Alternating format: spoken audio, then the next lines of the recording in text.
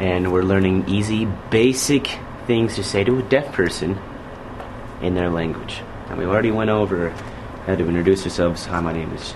Hi, my name is John. Your name's what? Nice to meet you. How are you? Now they're gonna reply and then ask you how you're doing. So, how are you? They'll say, good. So you say, good, good, good. Or I'm fine. I'm fine. That, I'm fine. I'm fine. How are you? I'm fine. How are you? I'm good.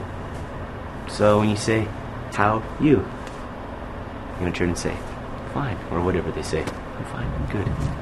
How are you? Uh, what are you gonna do? "Uh, I'm good, I'm fine. Or, okay. People use that a lot. Okay. Okay. Easy, simple, Simple. Doesn't need to be complicated. They'll be happy with anything simple. I'm fine. I'm good.